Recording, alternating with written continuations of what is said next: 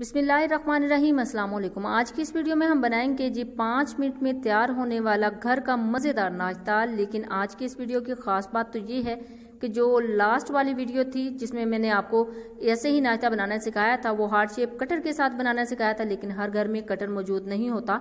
तो आज की इस वीडियो में हम इसी नाश्ते को बनाएँगे गिलास की मदद से। तो आइए चलते हैं नाश्ते की तरफ़। तो इसी वजह से आपकी इस मुश्किल का हल भी मैंने इसी वीडियो में निकाला है कि आज का ये जो नाश्ता है, हम गिलास की मदद से तैयार करेंगे, जो इजीली हर घर में अवेलेबल होता है। ज़रूरी नहीं कि आपके पास सांचे हों तो आप ये नाश्ता तैयार करें। तो इसके लिए जो जो चीज़ें चाहिए, सबसे पहले आप वो नोट कर लें। यहाँ पे लिए हैं मैंने कुछ ब्रेड स्लाइसिस ब्रेड स्लाइसिस तो लाजमी हैं। इसके अलावा इसके अंदर जो जाएँगे वेजिटेबल्स वो भी आप नोट कर लें। इसके अंदर मैंने ली है गाजर, शिमला मिर्च, हरा धनिया और हरी मिर्च। इसको आपने इसी तरीके से कटिंग करना है तो आपका जो नाश्ता है, वो बहुत ही मज़े का और बहुत ही अच्छा बनेगा। यहाँ पे मैं आप इसमें ऐड करूँगी तीन अदद अंडे। आप अपनी ब्रेड की क्वांटिटी के हिसाब से ज़्यादा और कम कर सकते हैं। इसके अलावा जो खुश्क मसाला जाता है, वो भी बहुत सिंपल है। इसके अंदर जाएगी जी हल्दी, काली मिर्च, सुरख मिर्च और सफ़ेद नमक। खुश्क मसाला जात भी आप अपने टेस्ट के मुताबिक कम या ज़्यादा कर सकते हैं। इसके अलावा इसके अंदर जाएगा जी कुकिंग ऑयल अगर आपके पास बटर है या फिर घी इस्तेमाल करना चाहें तो आप वो भी कर सकते हैं। लास्ट वाली वीडियो जो है, नाश्ते की वो मैंने इस हार्ड शेप के साथ बनाई थी, लेकिन अगर आपके पास ये सांचा मौजूद नहीं है तो आप सिंपली आप ग्लास की मदद से भी बना सकते हैं। ये नाश्ता बनाना बहुत ही आसान है, आप किसी भी सांचे की मदद से इसको बना सकते हैं। ज़रूरी नहीं है कि आपके पास इस तरह के सांचे या मोल्ड हों तो आप बनाएँ। ये नाश्ता तैयार करने से पहले हम कड़क चाय यहाँ पे तैयार करेंगे, क्योंकि नाश्ते के साथ कड़क चाय की ज़रूरत होती है तो उसके लिए जो जो इंग्रेडिएंट चाहिए सबसे पहले आप वो नोट कर लें। यहाँ पे मैंने एक गिलास पानी लिया है और चार से पाँच टेबल स्पून खुश्क दूध है और इसके अलावा दो अदद सब्ज़ इलायची है, इसके बीज निकाल लिए हैं मैंने और टू टी इसके अंदर जाएगी जी, चाय की पत्ती और थोड़ी सी चीनी। ये तमाम इंग्रेडिएंट्स आप अपनी क्वांटिटी के मुताबिक ऐड कर सकते हैं या फिर अपनी टेस्ट के मुताबिक। चलते हैं जी तैयारी की तरफ़। तो यहाँ पे एक लिया है पैन पैन के अंदर जाएगा जी पानी। पानी ऐड करने के बाद इसके अंदर ऐड करेंगे जी हम इसको पहले, सबसे पहले तो स्टोव के ऊपर रखेंगे। एक से दो मिनट के बाद जब पानी को बॉयल आ जाएगा, अल्हम्दुलिल्लाह हमारे पानी को बॉयल आ चुका है। तो इसके अंदर जाएँगे जी इंग्रेडिएंट्स बिस्मिल्लाह रहीम चाय की पत्ती और दो सब्ज़ इलाची यहाँ पे आपने चार से पाँच मिनट तक इसको अच्छे से पकाना है ताकि ये सारे जो असरात हैं, पत्ती के और जो सब्ज इलाची है कि इसका जो टेस्ट है, वो इस चाय में अच्छे से आए। चार से पाँच मिनट इसको पकाएँगे तो हमारी जो चाय है बिल्कुल कड़क और बहुत ही अच्छी बनेगी, क्योंकि नाश्ते में कड़क चाय की ज़्यादा ज़रूरत होती है। लाइट चाय नहीं चाहिए होती, इसी वजह से मैं इसको भी थोड़ा सा स्ट्रॉन्ग बनाऊँगी। जैसा कि आप देख रहे हैं कि चाय को अच्छे से बॉयल आ रहा है। बॉयल आने के बाद नेक्स्ट स्टेप की तरफ़ चलेंगे। नेक्स्ट स्टेप में इसमें रह गई अब शुगर ऐड करने वाली। तो बिस्मिल्लाहिर्रहमानिर्रहीम, इसके अंदर नेक्स्ट स्टेप में जाएगी जी शुगर आप अपनी पसंद के मुताबिक और अपनी टेस्ट के मुताबिक इसके अंदर शुगर ऐड कर सकते हैं। जितनी ज़्यादा आपको मीठा पसंद है, आप उतना ज़्यादा इस चाय को मीठा बना सकते हैं। लेकिन अगर आपको ज़्यादा मीठा नहीं पसंद तो आप बिल्कुल हल्की चीनी भी रख सकते हैं। अल्हम्दुलिल्लाह अल्हम्दुलिल्लाह, हमारा जो कावा है, जो हमारी कॉफ़ी है, वो अच्छे से तैयार हो गई है। अब इसको हम करेंगे जी स्टोव को ऑफ़ और दूसरा नाश्ता तैयार करेंगे, क्योंकि इसको सबसे लास्ट में हम तैयार करेंगे चाय को अब। नाश्ता के लिए मैंने यहाँ पे लिया है एक बाउल। इस बाउल के अंदर जाएँगे जी अंडे। अंडे ऐड करने के बाद इसके अंदर सारी वेजिटेबल्स ऐड करेंगे। बिस्मिल्लाहिर्रहमानिर्रहीम। सारी वेजिटेबल्स को आपने इसी तरह कटिंग करना है। देखिए, अल्हम्दुलिल्लाह अल्हम्दुलिल्लाह, कितने खूबसूरत कलर हैं। अल्लाह पाक की कुदरत है कि उसने हमारी जो खाने हैं, उसमें बहुत अच्छी जो कलर है, वो रखे हैं और इसमें गजाइत और इसके बाद इसके अंदर जाएँगे जी खुश्क मसाला जात। अल्हम्दुलिल्लाह अल्हम्दुलिल्लाह, सारी चीज़ें अच्छे से ऐड कर ली हैं तो अब इनको अच्छे से मिक्स करना है। मिक्स करने के लिए आप चम्मच भी यूज़ कर सकते हैं। अगर आपके पास हैंड विस्क है तो आप वो भी यूज़ कर सकते हैं। लेकिन ज़्यादा इसको बीट करने की ज़रूरत नहीं है। इसको बस थोड़ी देर के लिए ही बीट करना है ताकि सारे मसाला जात और सारी चीज़ें अच्छे से मिक्स हो जाएँ।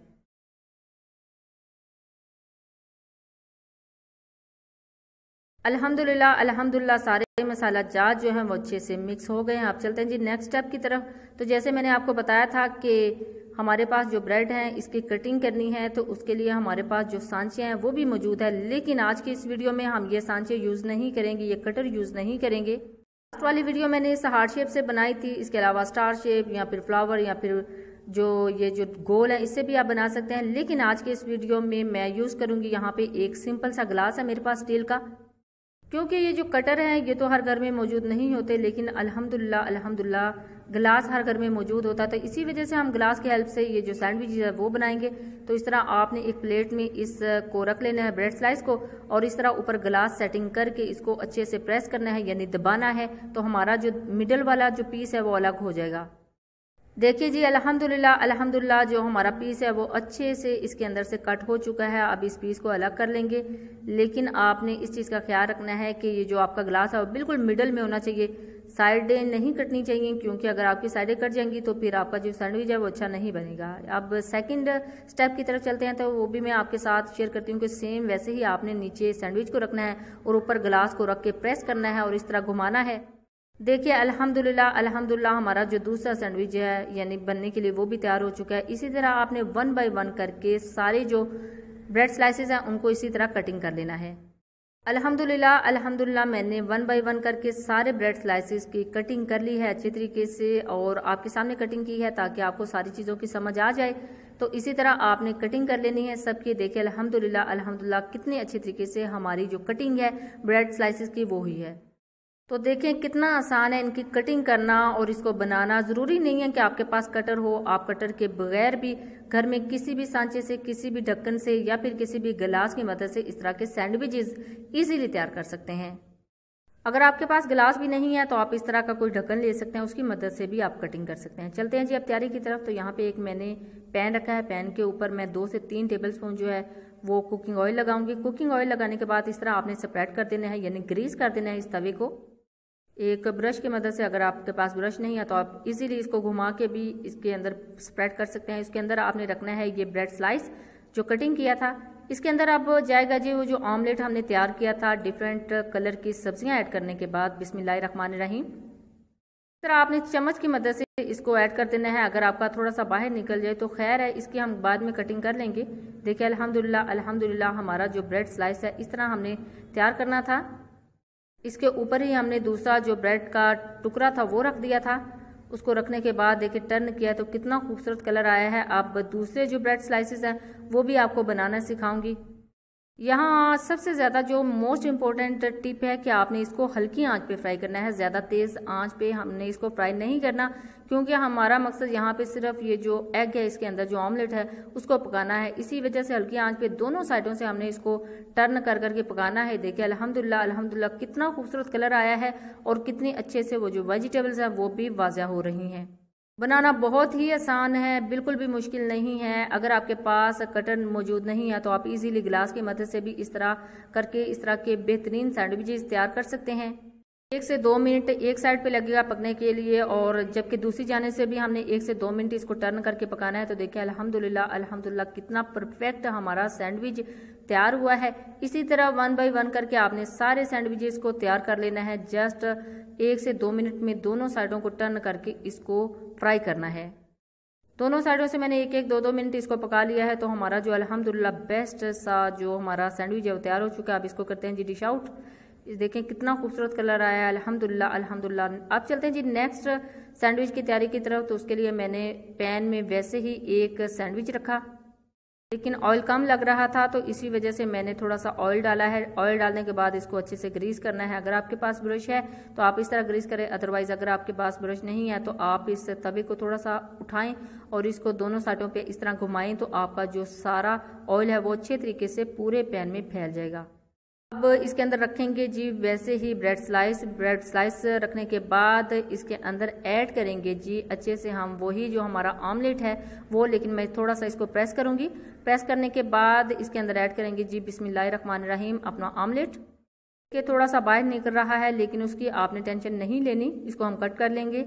लेकिन हमारा मकसद इसके मिडल में डालना था। अल्हम्दुलिल्लाह अल्हम्दुलिल्लाह अच्छे तरीके से डाल लिया है। अब ये जो पीस था, इसको ऊपर रखना है, थोड़ा सा प्रेस करना है, क्योंकि प्रेस करने से भी ये बाहर निकल जाना था। इसी वजह से हमने इसको साइड पे लगा दिया है।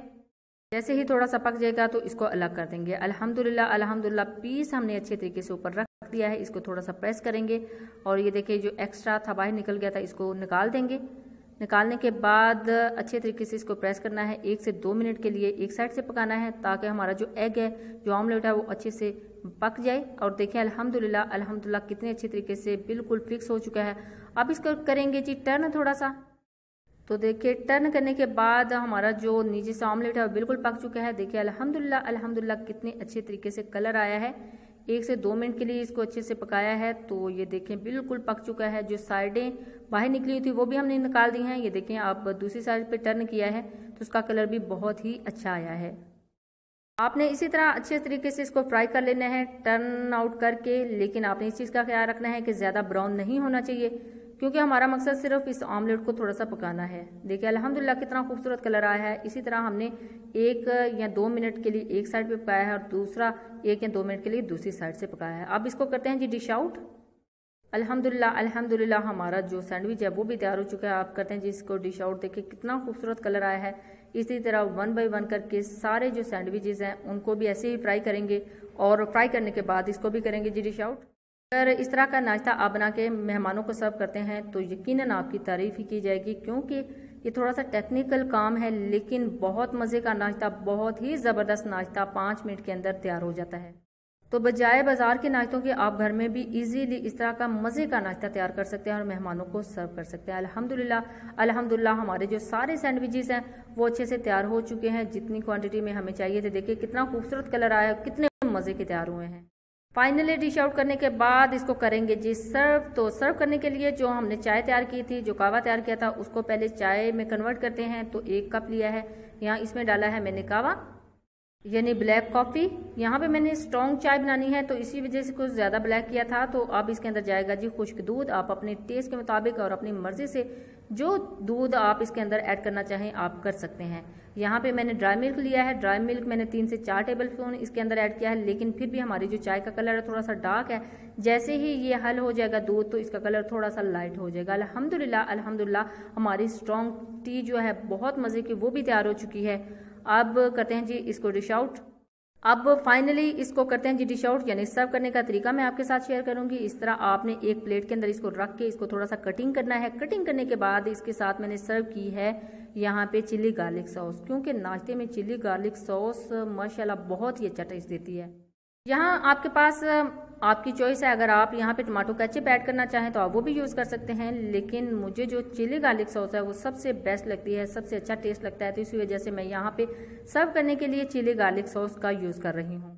अल्हम्दुलिल्लाह अल्हम्दुलिल्लाह हमारा बेहतरीन नाश्ता तैयार हो चुका है। इसके साथ मैंने सर्व किया है ऑरेंज जूस भी और चाय भी। आप इस तरह का स्ट्रॉन्ग नाश्ता करें और सारा दिन अपनी जो थकान है जो सारे दिन के काम है, वो इजीली कर सकते हैं। मेहमानों को इस तरह का नाश्ता दे सकते हैं। कितना खूबसूरत, अल्हम्दुलिल्लाह परफेक्ट हमारा नाश्ता तैयार हो चुका है।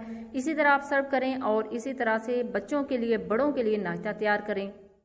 बनाना बहुत ही आसान है, अल्हम्दुलिल्लाह अल्हम्दुलिल्लाह, और बहुत जल्दी बन जाता है। आप इस तरह तैयार करें और अपना फीडबैक ज़रूर दीजिएगा और अपनी दुआओं में ज़रूर याद रखिएगा। अल्लाह हाफिज़। Thanks for watching